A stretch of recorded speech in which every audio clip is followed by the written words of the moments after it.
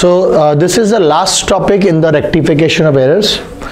Now we have come to the last stage that is rectification of errors after preparation of final accounts so अभी तक हम लोग पहले हम लोग फाइनल अकाउंट्स बना भी चुके हैं हम लोग को पता है फाइनल अकाउंट्स क्या होता है और हम लोग रेक्टिफिकेशन के भी प्रोसेस जान चुके हैं so this is the last opportunity that you have to rectify your errors that is अगर आपने ट्रायल बैलेंस बनाने के पहले मिस कर दिया है तो आपको एक मौका मिला ट्रायल बैलेंस बनाने के बाद। और अगर आप ट्रायल बैलेंस बनाने के बाद भी अगर आपका रेक्टिफिकेशन करना मिस हो गया तो आपको एक मौका लास्ट मिलेगा फाइनल तो ये लास्ट और कोई मौका इसके बाद है भी नहीं। तो फाइनल अकाउंट बनाने के बाद ही बच जाता है कि उसके बाद हम लोग रेक्टिफिकेशन करेंगे। ना जब हम लोग फाइनल अकाउंट बनाने के बाद रेक्टिफिकेशन करते हैं तो हमारा अप्रोच में थोड़ा सा चेंजेस आएगा राइट? क्यों जैसे कि मैंने आपको पहले कहा था कि डॉक्टर का ट्रीटमेंट इस बात पे डिपेंड करता है डॉक्टर कौन सा दवा देगा आपको, आपकी बीमारी के लिए, वो इस बात पे डिपेंड करता है कि आपका बीमारी आपके शरीर में कहाँ तक गया है करेक्ट अभी एग्जैक्टली exactly एकदम वैसे ही हमारा रेक्टिफिकेशन जो हो रहा है, वो फाइनल अकाउंट्स बनाने के बाद हो रहा है। तो देफोर हमारा थोड़ा सा अप्रोच क्या होगा? अब चेंज होगा। Right so rectification of errors final account बनाने के बाद कैसे करना है? इसके लिए मेरे को, मैंने यहाँ पे फाइनल अकाउंट्स का एक जस्ट एक उदाहरण एग्ज़ाम्पल रखा है। हमारे पास ट्रेडिंग है पीएल है, हमारे पास बैलेंस शीट है। नाउ वी ऑल नो कि अकाउंट्स में इन अकाउंटेंसी हम लोगों ने जो अकाउंटिंग करना सीखा है, हमने जो रिकॉर्ड रखना सीखा है, वो रिकॉर्ड अकाउंट्स के पाँच पिलर का है correct asset expenses liability capital revenue हम लोग इन्हीं पाँच चीज़ों का रिकॉर्ड रख रहे हैं। क्लास इलेवन की शुरुआत से जब से हम लोगों ने अकाउंटिंग करना स्टार्ट किया, तब से हम लोगों ने देखा कि हमारा अकाउंटिंग इन्हीं पाँच चीज़ से रिवॉल्व हो रहा है। सो अगर हमसे गलती होता भी है तो गलती होगा भी तो कहाँ होगा? इन्हीं पाँच आइटम से रिलेटेड गलती होगा। इन्हीं के, इन्हीं पाँच आइटम्स पे रिकॉर्ड रखने के लिए कुछ गलती होगा। My errors will limited will be confined in these five elements and in in final accounts final account में ये पाँचों elements को लाया जाता है ये आपका रेवेन्यू स्टेटमेंट है, जिसे हम लोग ट्रेडिंग पीएल बोलते हैं। यहाँ पे आपका एक्सपेंसेस और रेवेन्यू आता है और ये है आपका balance sheet a statement showing your assets liability and capital so your all five pillars और your five elements for which you need to keep records all those five elements are finally brought down in a consolidated report and that report is known as final accounts अब हुआ क्या? Final account बनाने के बाद मेरे को कुछ mistakes पता चला। अब वो mistake A E L C R किसी में हो सकता है। मतलब वो मिस्टेक ट्रेडिंग में भी पीएल में भी हो सकता है और वो मिस्टेक एसेट और लाइबिलिटीज की वैल्यूज़ में भी हो सकता है। अब हम लोग एक एक करके समझेंगे कि अगर एक्सपेंसेस और रेवेन्यू में प्रॉब्लम हुआ, अगर ट्रेडिंग और पीएल में प्रॉब्लम हुआ एरर हुआ तो उसे सुधारने में हमारा अप्रोच क्या होगा? और अगर एसेट लाइबिलिटी कैपिटल में अगर प्रॉब्लम हुआ तो उसे सुधारने के लिए हमें कैसे स्टेप आगे लेना, उसमें अप्रोच हमारा कैसे रहेगा? सबको समझ में आ रहा हम लोग क्या करने वाले so let start one by one एक कोई भी हम लोग यहाँ पे एक्सपेंसेस ले लेते हैं और उसमें हम लोग अपने से गलती करते हैं। सो से फॉर एग्ज़ाम्पल हम लोग ले लेते हैं रेंट ठीक है? और एक रेंट यहाँ पे एक्सपेंस है। और हम लोग करते हैं कि rent was rent account was undercast by rupees two hundred what i'm saying? Rent account was undercast by rupees 200 now, rent account was undercast by rupees 200 मतलब अगर रेंट यहाँ पे आपका पाँच सौ रुपया दिख रहा है तो ये एक्चुअल फिगर रेंट का कितना होना चाहिए था? सात सौ होना चाहिए था। This rent must have been seven hundred rupees but हमने यहाँ पे कितना लिखा है? फाइव हंड्रेड सो दो सौ रुपए से कम है। नाउ यही मिस्टेक अगर फाइनल अकाउंट बनाने के पहले आप पकड़ लेते तो आपका रेक्टिफाइंग एंट्री सिंपल होता। आपको क्या करना पड़ता? रेंट को बढ़ाना पड़ता। तो आप रेंट अकाउंट को डेबिट करते कितना से? दो सौ रुपया से। और यहाँ पे आप लिख देते टू सस्पेंस अकाउंट दो सौ रुपया। अगर ये एरर आप फाइनल अकाउंट्स बनाने का पहले, लेकिन ट्रायल बैलेंस बनाने के बाद अगर आपने गलती पकड़ा। यही गलती अगर आप ट्रायल बैलेंस बनाने का भी पहले पकड़ लेते तो आप सीधा करते rent account will be debited by 200 वहाँ पे सस्पेंस नहीं आता। So if you if you are detecting the error, this error before trial balance मतलब आपने ट्रायल बैलेंस नहीं बनाया तो आप सिर्फ़ रेंट अकाउंट को डेबिट कर दोगे। यही एरर अगर आप ट्रायल बैलेंस बनाने के बाद पकड़े तो आपका एंट्री होता है rent account debit to suspense क्योंकि इसके चलते सस्पेंस को लिया होगा। अब यही एरर फाइनल अकाउंट बनाने के बाद पकड़ में आया। तो उस वक्त हमारा रेक्टिफाइंग एंट्री क्या होगा? अगर इस एरर को हम लोग फाइनल अकाउंट बनाने के बाद पकड़ते हैं। सो फाइनल अकाउंट बनाने के बाद अगर हम लोग पकड़े तो हमें क्या करना चाहिए? क्या हम रेंट अकाउंट को दो सौ रुपया से डेबिट करेंगे जैसे यहाँ पे किए थे? ये था आपका बिफोर फाइनल अकाउंट्स ये है आफ्टर फाइनल अकाउंट्स तो क्या हम लोग क्या हम लोग वही अप्रोच रखेंगे रेंट के प्रति, जो हमने फाइनल अकाउंट बनाने का पहले किया था? हमने रेंट को डेबिट किया था। क्या फाइनल अकाउंट बनाने के बाद भी जब हम लोग गलती सुधारेंगे तो क्या हम लोग रेंट को डेबिट करेंगे? इसका आंसर है नो आप रेंट को डेबिट नहीं कर सकते। अब इसका सिंपल सा लॉजिक है। क्यों नहीं कर सकते? क्योंकि जवाब देगा इसका। क्या कारण है? यही गलती rent account was undercast by 200 ये गलती अगर हम फाइनल अकाउंट बनाने के पहले पकड़ ले तो सुधारने के लिए मैं रेंट को दो सौ रुपए से क्या करूँगा? बढ़ाऊँगा। और यही गलती अगर मैं फाइनल अकाउंट बनाने के बाद हमको डिटेक्ट होता है तो उस वक्त मैं आपको बोल रहा हूँ कि नहीं, अब तुम रेंट अकाउंट को नहीं सुधार सकते। अब तुम रेंट अकाउंट को दो सौ रुपए से बढ़ा ही नहीं सकते। Why am I saying this why am I saying this मैं ऐसा क्यों कह रहा हूँ? क्योंकि सर, बहुत सिंपल सा रीजन है। आप साल के एंड में जो भी इनकम और एक्सपेंसेस होते हैं, वो सारे इनकम और एक्सपेंसेस को स्वप्ना जी हम लोग क्या करते हैं? प्रॉफिट एंड लॉस अकाउंट में रेवेन्यू स्टेटमेंट में क्या कर देते हैं? ट्रांसफ़र कर देते हैं। So therefore technically speaking Swapna rent account बोल करके लास्ट ईयर का रेंट अकाउंट बोल करके कोई अकाउंट लेजर खुला ही नहीं है। ऑब्वियसली क्योंकि जब आपने फाइनल अकाउंट बनाया तो ये जो रेंट का पाँच सौ रुपया जो आपने यहाँ पे लाया, आप प्लीज़ इसको पढ़िए। इसका एंट्री पढ़िए।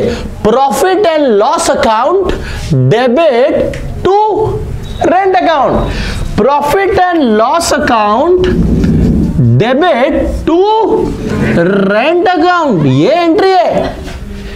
रेंट बिंग एन एक्सपेंस उसका डेबिट बैलेंस होगा। तो मैंने उसका बैलेंस को क्या कर दिया? क्या कर दिया हमने? रेंट अकाउंट में जो बैलेंस था, उसको मैंने क्या कर दिया है? पीएल में ट्रांसफ़र कर दिया। मैंने रेंट अकाउंट को क्लोज कर दिया है। और मैंने रेंट अकाउंट को क्लोज करके मैंने पीएल में ट्रांसफ़र कर दिया है। इसीलिए जितने एक्सपेंसेस होते हैं, सारे एक्सपेंसेस को बंद करके उसके बिहाफ में हम लोग प्रॉफिट एंड लॉस अकाउंट को डेबिट करते हैं। मतलब प्रॉफिट एंड लॉस अकाउंट में सारे रेंट क्या, सारे एक्सपेंसेस क्या हो जा रहे हैं? क्या हो जा रहे हैं? सारे एक्सपेंसेस क्या हो जा रहे हैं?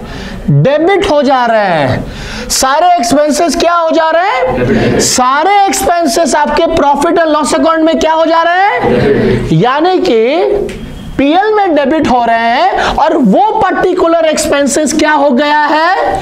क्रेडिट हो गया वो बंद हो गया है। Similarly, with the revenues, all your direct and indirect revenues are transferred to the revenue statement. यानी कि वो लोग सब प्रॉफिट एंड लॉस अकाउंट में क्या हो गया है? पीएल में क्या हो गया है? क्रेडिट पीएल को क्रेडिट करके और उस रेवेन्यू को जैसे यहाँ पे कमीशन है कमीशन को हम लोग ने क्या कर दिया होगा? डेबिट कर दिया होगा। So at the end of the year all the expenses जो भी एक्सपेंसेस का जो लेजर के जो बैलेंसेस होते हैं, वो सारे एक्सपेंसेस को प्रॉफिट एंड लॉस अकाउंट में ट्रांसफ़र रेवेन्यू स्टेटमेंट में मतलब ट्रेडिंग और पीएल में ट्रांसफ़र करके, वो सारे एक्सपेंसेस का अकाउंट को बंद कर दिए हैं। और सारे इनकम्स डायरेक्ट और इनडायरेक्ट रेवेन्यू जो है, उसे भी हम लोग ट्रेडिंग और पीएल में डाल के क्या कर दिए हैं? अगर हम ऐसा नहीं करेंगे तो मेरा साल के अंत का प्रॉफिट और लॉस पता नहीं चलेगा। अगर मेरे को प्रॉफिट और लॉस निकालना है राइट right? तो मेरे सारे एक्सपेंसेस को और सारे इनकम को एक अकाउंट में ट्रांसफ़र करना पड़ता है। और उसी अकाउंट का नाम क्या है? Profit and loss account revenue statement trading and profit loss account so technically now did you understand did you understood ki why i am not able to rectify the rent account? If this error was detected before final accounts it means you had a chance you had an opportunity to rectify you rent account अब rent account को ही दो सौ रुपए से बढ़ाते हैं। Rent account को डेबिट करते हैं। यस और no but since you detected this error after preparation of file accounts so now you do not have an opportunity और chance to rectify rent account because that particular rent account has already been close और उसके amount को हमने already PL में transfer कर दिए।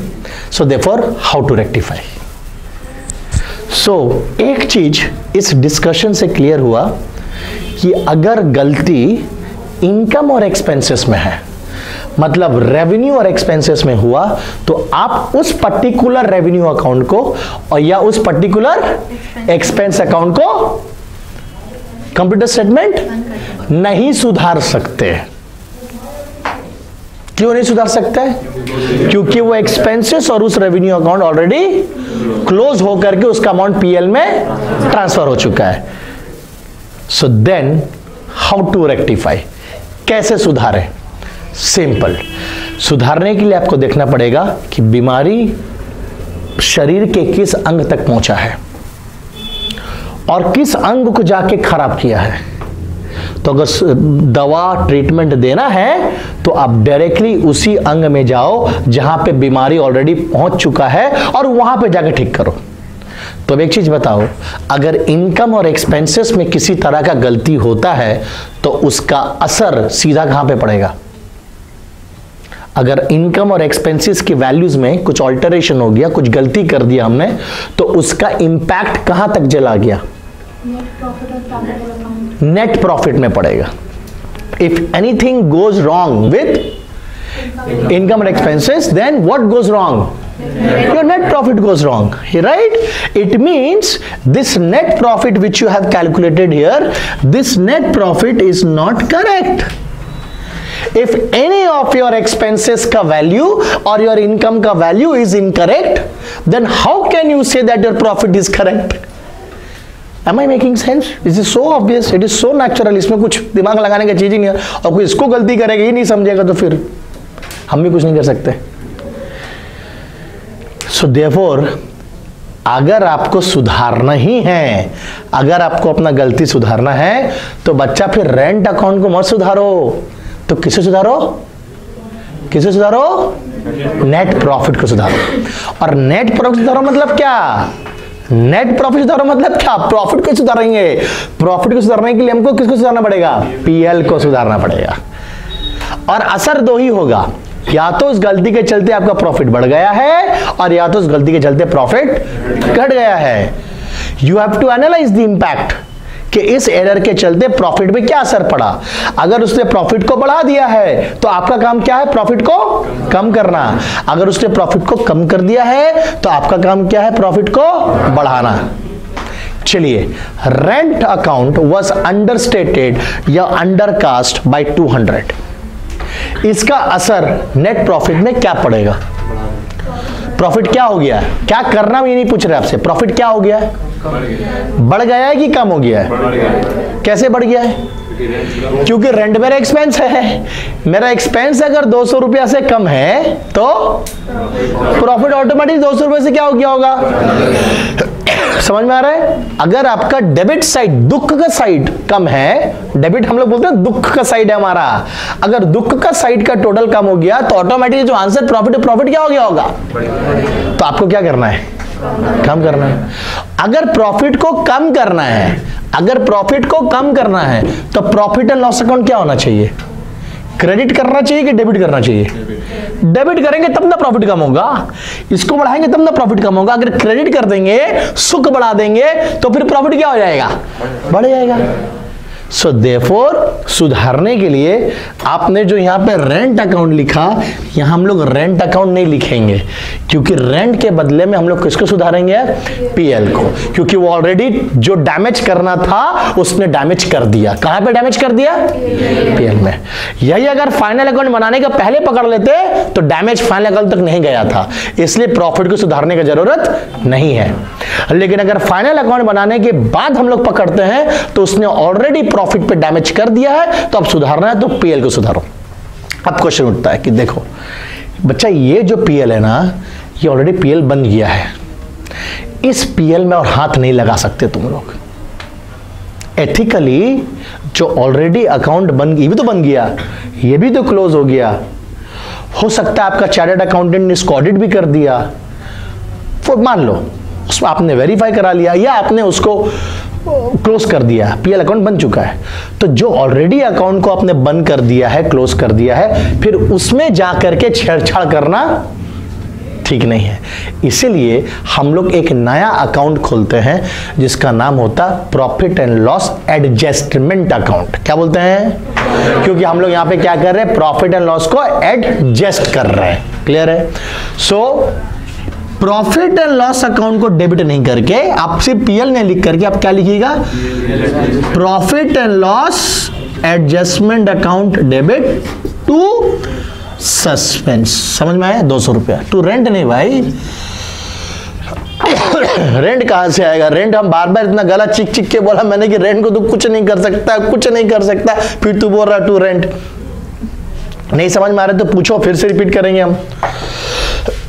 So see the difference the error same error if it is rectified before trial final accounts final account बनाने का पहले तो मैंने रेक्टिफाई किसको किया रेंट को डेबिट किया और यही गलती अगर फाइनल अकाउंट बनाने के बाद पकड़ में आए तो मैंने किसको रेक्टिफाई किया? पीएल एन एडजस्टमेंट लिखा। So the word rent account को हम लोग सब्सटीट्यूट किससे कर दिए? पीएनएल एडजस्टमेंट अकाउंट से। And why is it happening so I have made my point very clear कि this mistake is an revenue this mistake is an expense if is there any error in revenue account or expenses account you cannot rectify that particular revenue or expense account you have to rectify profit and loss account matlab you have to rectify the net profit और net loss and how to that how to do that वो net profit को हम लोग एक नया account में क्या करते हैं ट्रांसफ़र कर देते हैं पीएल एडजस्टमेंट अकाउंट में और वहाँ से उसको हम लोग डेबिट क्रेडिट करते हैं ठीक है? एक और एरर लेते हैं।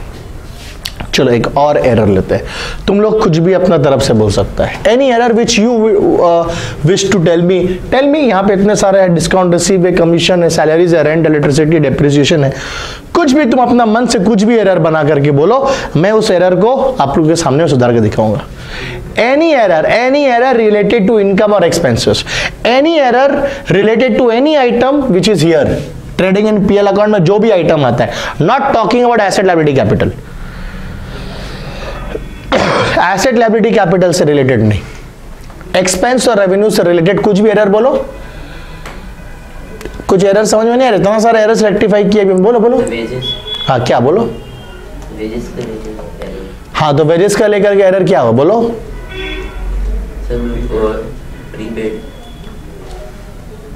क्या?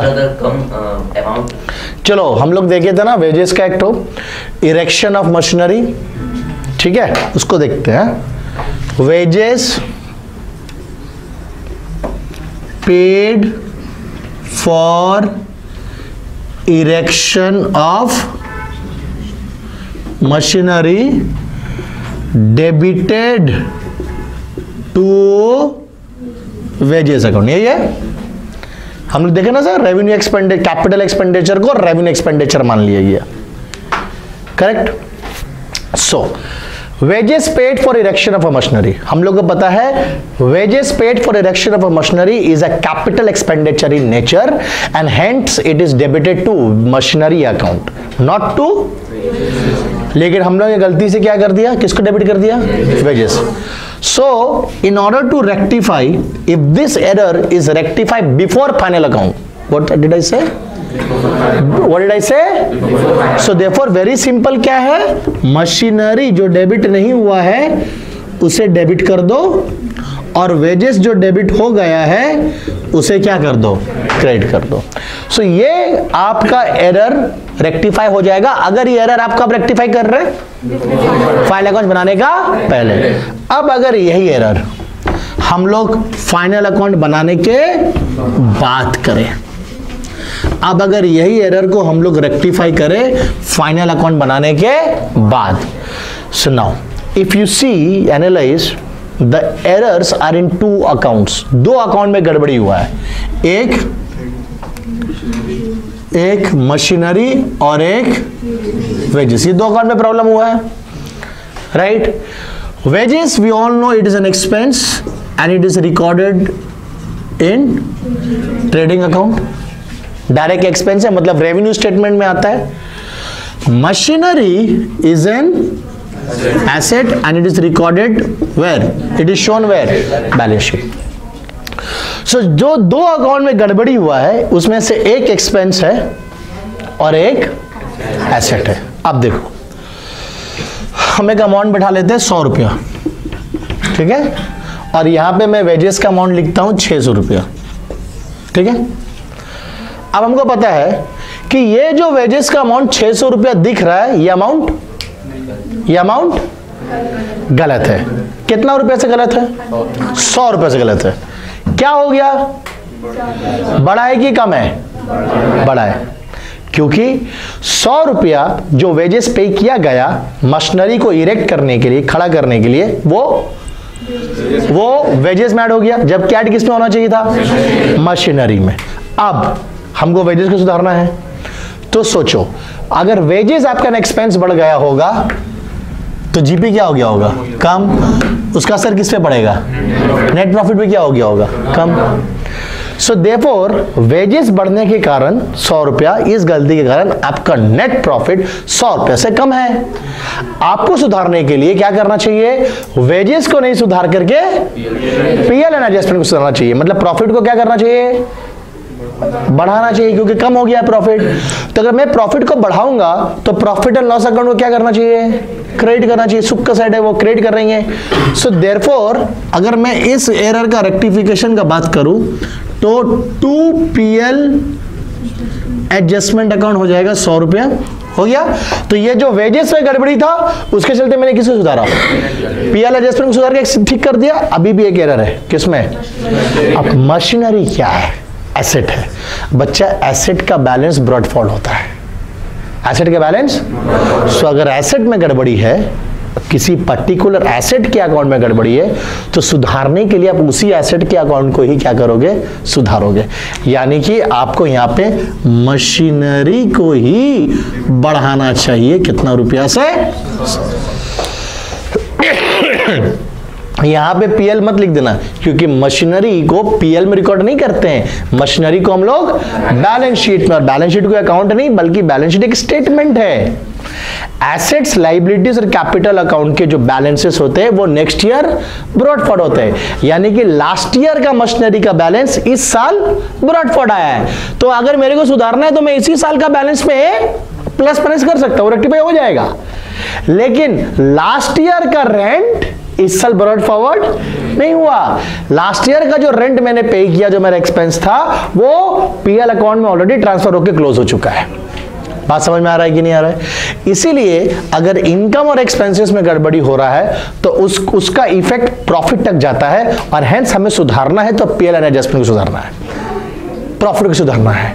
लेकिन अगर मशीनरी में प्रॉब्लम हो रहा है डेटर में प्रॉब्लम हो रहा है क्रेडिटर में प्रॉब्लम हो रहा है so in that case my dear students आप उसी डेटर को ही सुधारो ना। समझ में आ रहा है? आप मशीनरी अकाउंट को सुधारो ना फर्नीचर अकाउंट को सुधारो ना। सो अगर एसेट और लाइबिलिटी में प्रॉब्लम है तो आप उसको सुधारो। क्लियर समझ में आ रहा है? हाँ ये हो गया फुल्ली कॉन्सेप्चुअली जो हम लोग समझ रहे हैं कि हम लोग क्यों ऐसा अप्रोच हमारा बदला। क्योंकि पूरा कहानी चेंज हो जाता है अगर हम लोग फाइनल अकाउंट बनाने की बात करते हैं specially I am talking about income and expenses am I am I clear समझ में आ रहा है? अब एक छोटा सा ट्रिक बताते हैं। अगर एग्ज़ाम में आपके पास समय नहीं है और आप उतना मेहनत नहीं करना चाहते हैं कि हम जा करके इसका इफ़ेक्ट देखें नेट प्रॉफिट पे और उसके बाद रेक्टिफाई करें। तो सिंपल एक तुमको हम चीटिंग करना एज अ टीचर नहीं बोलना चाहिए, लेकिन इसमें भी लॉजिक लगेगा। सिंपल सा चीज़ क्या है? आप यही सोचो कि अभी फाइनल अकाउंट बना नहीं है। और अगर फाइनल अकाउंट नहीं बना है तो हम रेक्टिफिकेशन कैसे करते हैं? कैसे करते हैं? ऐसे करते हैं machinery to wages right so आपने पहले दिमाग में imaginary before final account entry बना लिया। और जहाँ पे एक्सपेंसेस है या रेवेन्यू है जहाँ एक्सपेंसेस या रेवेन्यू आइटम है उसको वहाँ से क्या कर दिया? हटा करके क्या वर्ड लिख दिया? खत्म। तुम देखो यहाँ पे वेजेस था। वेजेस को मैंने क्या कर दिया? वेजेस वर्ड को हटा के रिप्लेस किससे कर दिया? पीआर एडजस्टमेंट इससे पहले वाला में क्या था? रेंट हमने रेंट वर्ड को हटा के क्या लिख दिया? सो so, आप यही सोचो आप यही सोचो कि रेक्टिफिकेशन हम कर रहे हैं फाइनल अकाउंट बनाने का पहले। मत सोचो कि फ़ाइल बनाने की बात कर रहे हैं। लेकिन जब तुम रेक्टिफाइंग एंट्री करोगे तो उस रेक्टिफाइंग एंट्री में जो एक्सपेंसेस या रेवेन्यू के जो आइटम है, अगर उसमें रेक्टिफिकेशन हो रहा है तो उसको हटा करके वहाँ पे वर्ड क्या लिख दो? पूरा उतना टेंशन ही नहीं लेना है। उतना सोचना ही नहीं है कि इसका असर क्या पड़ा नेट प्रॉफिट पे। उतना दूर तक जाओ ही मत। अगस्त एग्ज़ाम में टाइम नहीं है तो। आप यही सोचो कि भैया हम बना रहे rectification entry before preparation of trial balance इसका रेक्टिफाइंग एंट्री होगा। मशीनरी टू वेजेस अच्छा वेजेस एक्सपेंस है। ये तो ट्रेडिंग पीएल का आइटम है। हटाओ वेजेस और क्या लिख दो? मशीनरी एसेट है। बैलेंस शीट का आइटम है। तो मशीनरी वर्ड रहने दो समझ में आया? क्लियर है? बढ़िया से? चलिए कभी करिए इसको।